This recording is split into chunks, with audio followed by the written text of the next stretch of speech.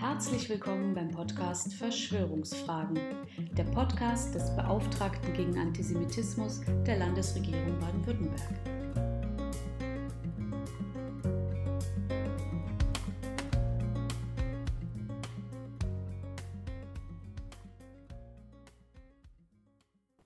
Es fühlt sich ein wenig unwirklich an, Ihnen hiermit bereits die 30. Folge des Podcasts Verschwörungsfragen vorstellen zu dürfen.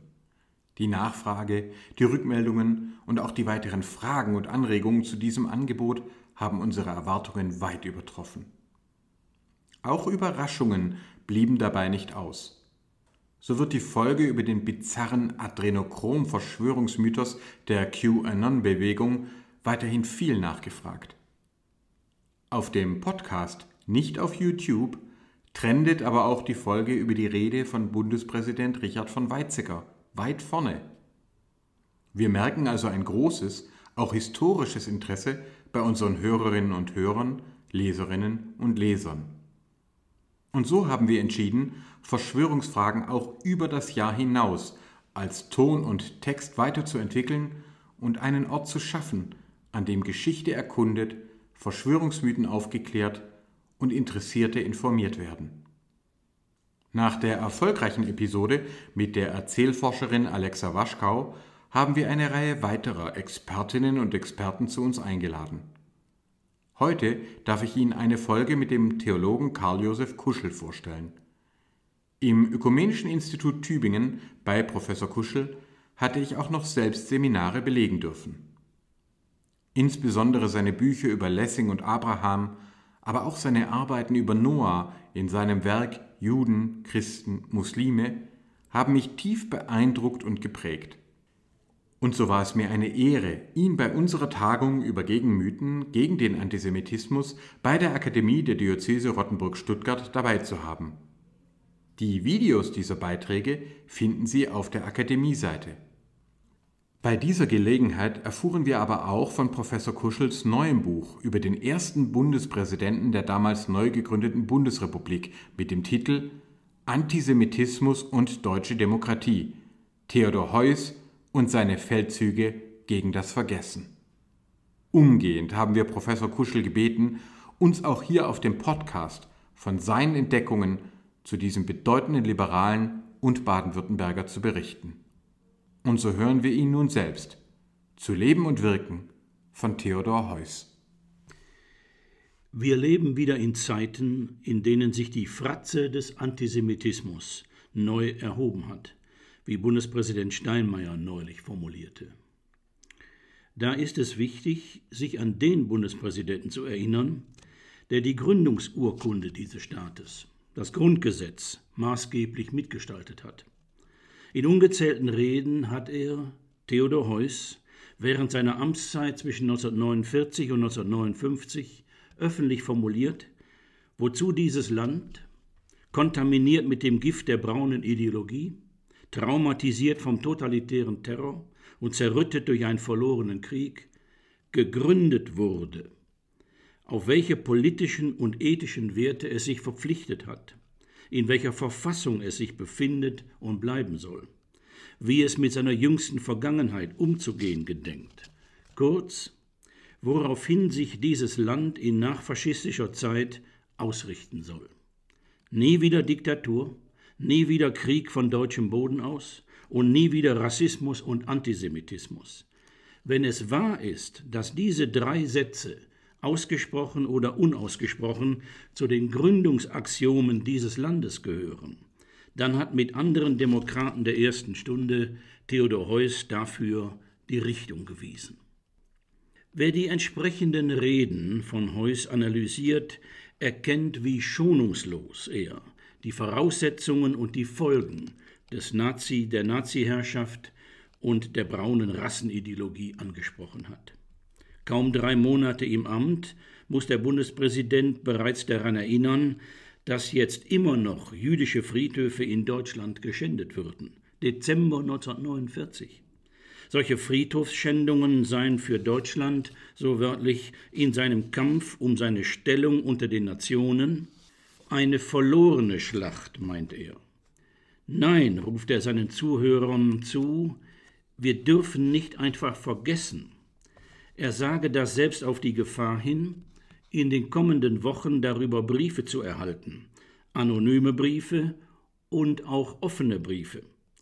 Und was ist es, was wir nicht vergessen dürfen? Wir dürfen nicht vergessen, sagt Heuss, die Nürnberger Gesetze, den Judenstern, die Synagogenbrände, den Abtransport von jüdischen Menschen in die Fremde, in das Unglück, in den Tod. Das sind Tatbestände, die wir nicht vergessen sollen, die wir nicht vergessen dürfen, weil wir es uns nicht bequem machen dürfen.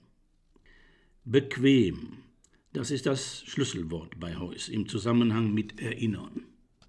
Bequem können und dürfen sich Deutsche ihr Verhältnis zur jüngsten Geschichte nicht machen. Nur nicht zu rasch den Mantel der Versöhnung über alles ausbreiten. In fast allen seinen Reden zur NS-Vergangenheit aktiviert Heuss diese Bequemlichkeitsmetapher. Ihm kommt ja auch allerhand zu Gehör aus dem Volk.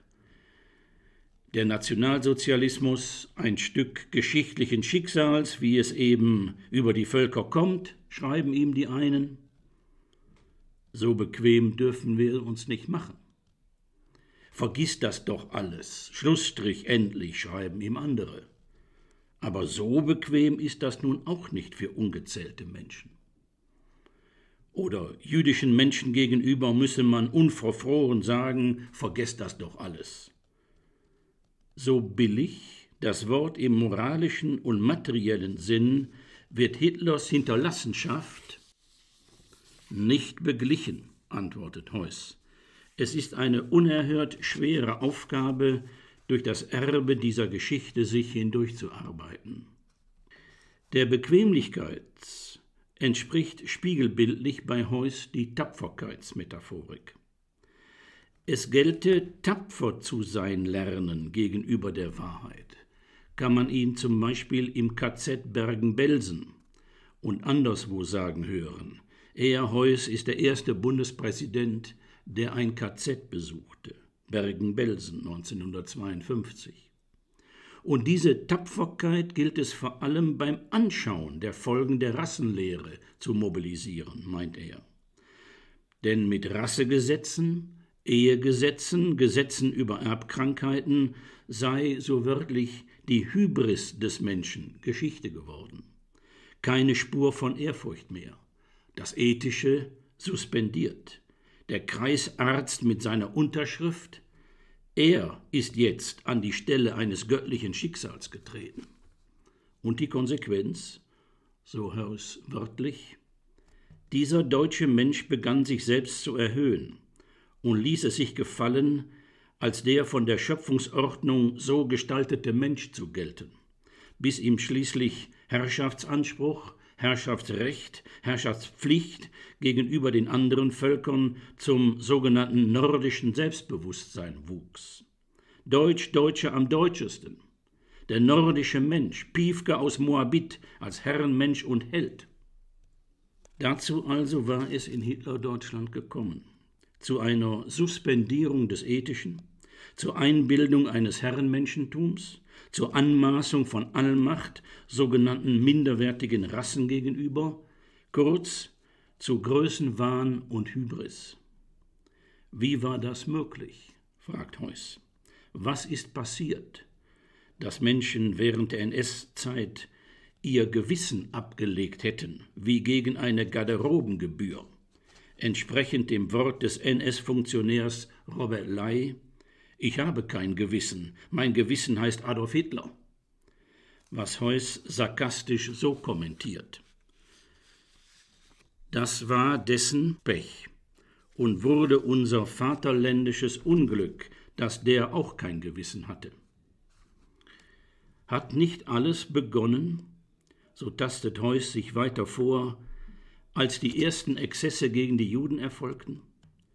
Sie hätten vielen Leuten nicht gefallen, aber sie haben gesagt, ist ja bloß ein Jude. Und dieses ist ja bloß ein Jude. Das war der Anfang, so Heuss. Von dort an ist die deutsche Seele krank geworden, weil sie im Menschen nicht mehr das Menschliche, die Würde des Menschen sah.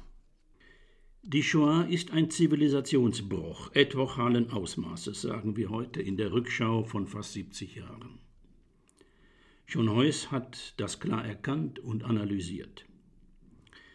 Doch was soll die Grundeinstellung der Deutschen zur NS-Zeit und in den Verbrechen am jüdischen Volk sein? Kollektiv Schuld? Kommt nicht in Frage. Heuss lehnt diesen Begriff von Anfang an ab.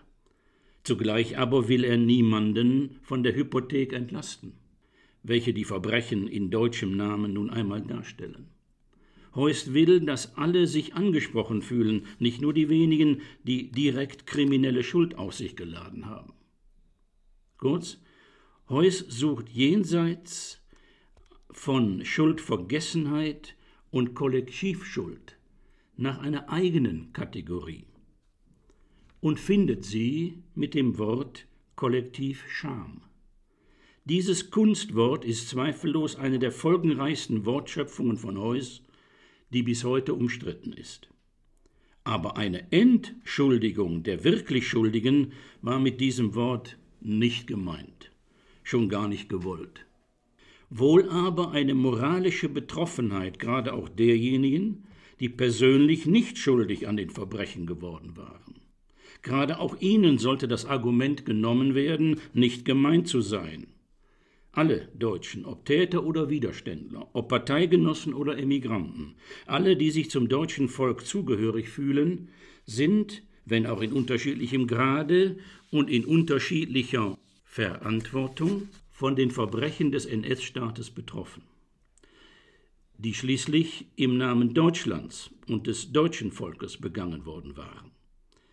Der Name Deutschland ist durch das braune Gift ein für alle Male kontaminiert. Das bewusst zu machen, ist Heuss Grundanliegen und vor allem die nötigen Konsequenzen daraus zu ziehen. Die bohrend selbstkritische Ursachenforschung betrifft auch einen besonders heiklen Punkt. Von Hause aus kein Theologe oder Religionswissenschaftler, steht Heuss dennoch klar vor Augen, dass die christlichen Kirchen jahrhundertelang eine fatale Enterbungstheologie gegenüber dem Judentum betrieben haben. Eine der Wurzeln dafür, warum sich das Verbrechen am jüdischen Volk hinter dem Rücken der Kirche abspielen konnte.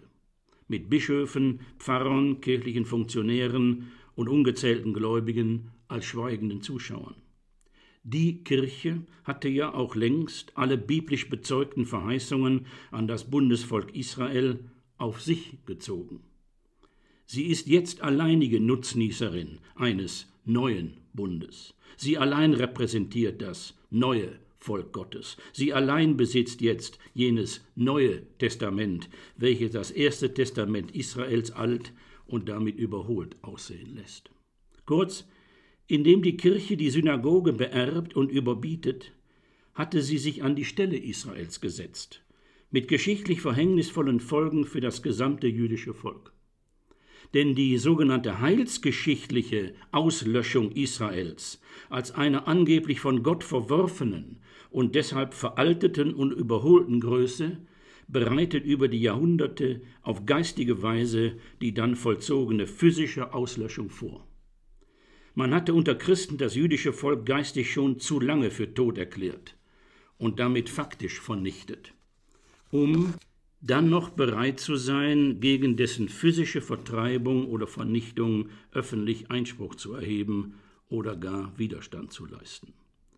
Heuss hat klar gesehen, der jahrhundertealte kirchliche Antijudaismus hat den Nährboden für einen rassischen Antisemitismus bereitet, der sich im 19. Jahrhundert herauszubilden beginnt und im 20. tödliche Folgen für das jüdische Volk haben wird. Versöhnung mit dem Massenmord am jüdischen Volk? Theodor Heuss Antwort lautet, es bleibt ein für allemal das Nicht-Versöhnbare.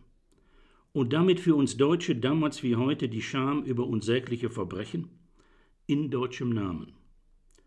Aber indem wir auch als Nachgeborene ohne alle Verharmlosung und Verdrängung der Wahrheit gegenüber tapfer zu sein lernen, wie Heuss formuliert indem wir die politischen Konsequenzen für eine an den Menschenrecht orientierte demokratische Kultur in Deutschland gezogen haben, indem wir uns engagieren für einen christlich-jüdischen oder deutsch-israelischen Dialog und ihn nicht anderen überlassen, gewinnen wir die Glaubwürdigkeit nach innen und außen, dass die drei Grundaxiome dieses Landes, von denen ich eingangs gesprochen habe, dass diese drei Gründungsaxiome keine leeren Parolen bleiben. Nie wieder Diktatur, nie wieder Krieg von deutschem Boden aus und nie wieder Rassismus und Antisemitismus.